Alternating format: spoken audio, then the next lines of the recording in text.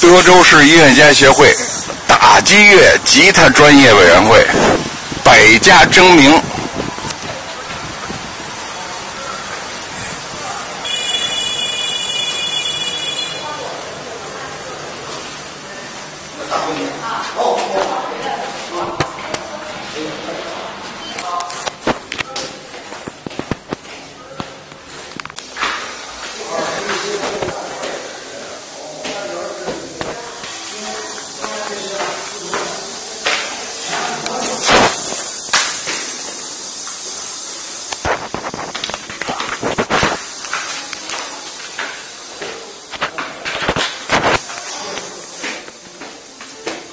德州就是德克萨斯州。搬到那边去了。哦。这边还有我们几间教室，但主要是以那边为主。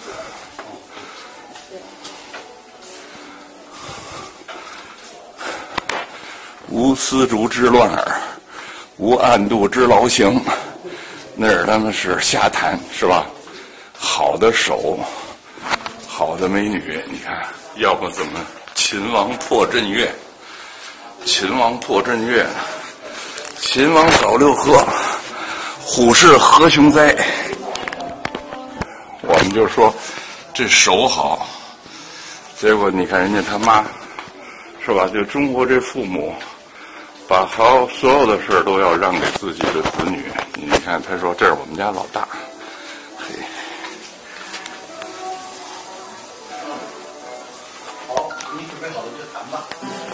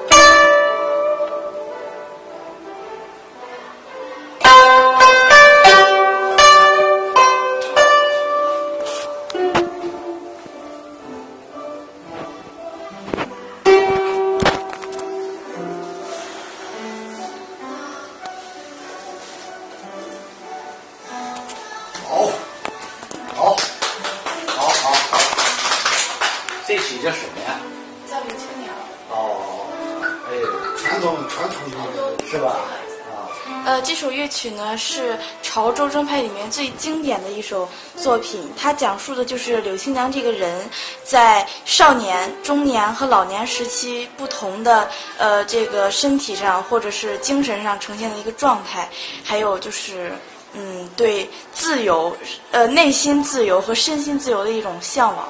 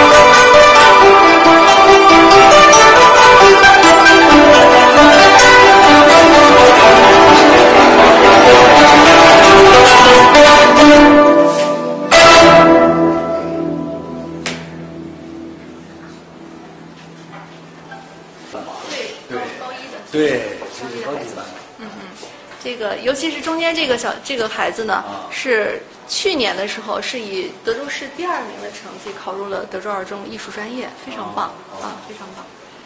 这个孩子学的比较早，剩下的呢有一些呢就是学的比较晚，比如说初一啊，还有呢就是小学高年级学的，但是大多数吧还是从小学的比较多一些，因为要搞艺术专业，它是需要一个时间的一个，都是从那里面来的。主席，你教教这个呃多少年了？我工作是二零零四年，嗯至今，嗯，我就说我就说教学啊，呃开始来教20二十年了，就光教学就二十多年，对对到二十二十多年了。是是，啊，就你那么年轻教这个这个，问问一句大话，这种职专业特别好。学生们一个个自己手里说了以后是什么感我的感觉是幸福啊，因为我们每年这个假期的时候，考在全国各地的孩子们都回来，回来之后，我们现在也有一个师承的这样一个非常好的一个传统啊。师哥师姐回来之后，给师弟师师妹们介绍这个学习的经验、考学的成功经验，对他们也是很好的一个一个激励。现在学生的上面，啊，就是说在德州市范围呢，是说考上的。这当然是全国了，全世界我都愿意。我们呢现在是最好的成绩是考入中央艺学附中艺术专业啊，然后呢是全国一共三个孩子我们考。那么只要掌握了方法，有了一个良好的态度和学习习惯的话，那么我相信他学什么都是成功的。弹奏的可能就这个比较熟练一些啊啊，行，我想再拍一遍。好，好不好？同学，我们再来一次好吗？刘洋河吗？啊，身体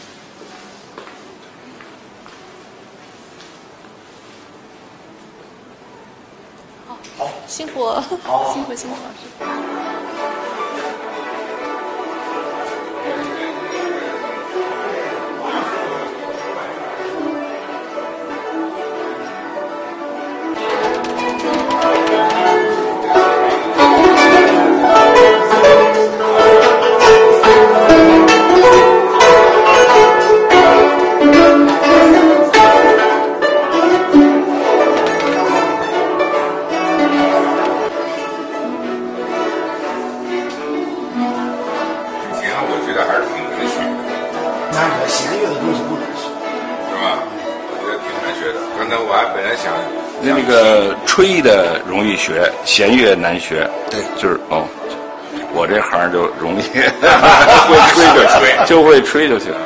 这不是你这行，是咱这行，咱这行现在难学了。OK，我这好了，好好了，刚才我就想问一个问题，能不能就像我们这啥都不会的，简单的赶紧学两招，到时候关键时候卖能卖了，这个赶紧的啊，那那弄两下，然后那得一对一指导啊。你的快板打好就行。一对一指导行。哎哎，我特想这个学两下这个，啊，那个。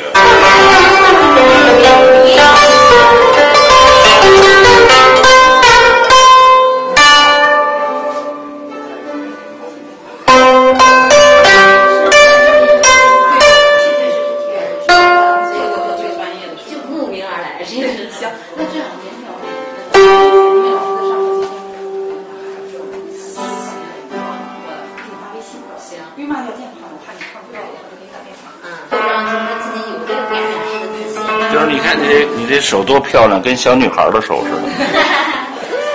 你这样好了，你今天赶上什么？哎，那老师给你一发，你知道吗？你还没学琴就火了。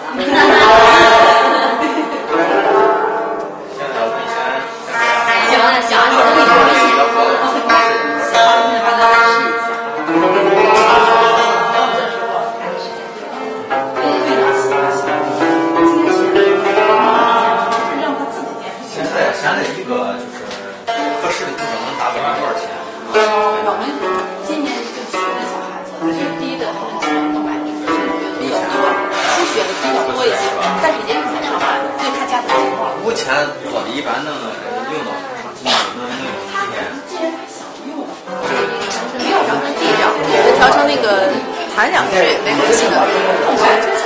对，我们都吵架门呀。把你是把中国话做一个基本的了解以后，你知道日本的电影对对对完全是。啊，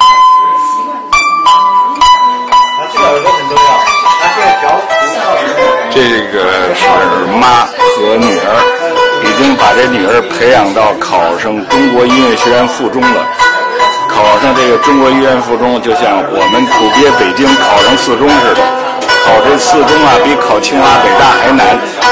考这个中国音乐附中啊，就比考中国音乐学院和中央音乐学院还难。两口子遗传在，大小钢琴的，杂技全才你应该能知道。他比你小一个小时。第一个什么？很难很难受的，拿不出来，老师小棍儿上上。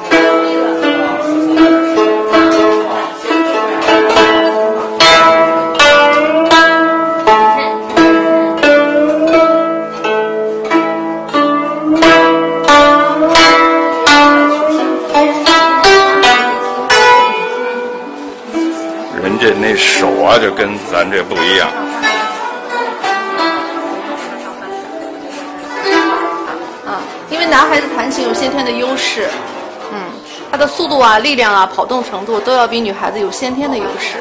哎，对，嗯，以后我们在请了很多演奏家都是男老师啊，特别有感染力弹琴啊，但是要坚持。咱一定要 选一门，咱咱选一门是吧？几个一门学好。你看你你看，他把他们家女儿给调教的亭亭玉立，那些古曲、那些古文化、古文字、古代的那些礼仪，现在都失传了。但是他们家女儿在他的教导之下，在山东德州、大德之州、德克萨斯州、山东特逗，还一宾夕法尼亚州呢，宾州，嗯，在他的教育下，这种文化就不会失传。他们家女儿不仅长得美，那种气质就以后就抓人，是吧？什么宋庆龄之类什么的都美国，宋美龄，嗯，美女就是这么一点点练成的。不仅音乐，还有文化，还有礼仪，所以就是悠悠万事，唯此为大。你看古代那些啊乐啊，当然那是古琴，不是古筝，但是悠悠为事，万事唯此为大，孔仲尼牌的。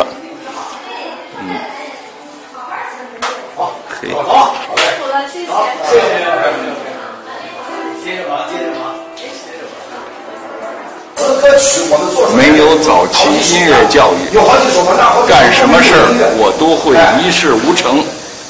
爱因斯坦，爱因斯坦。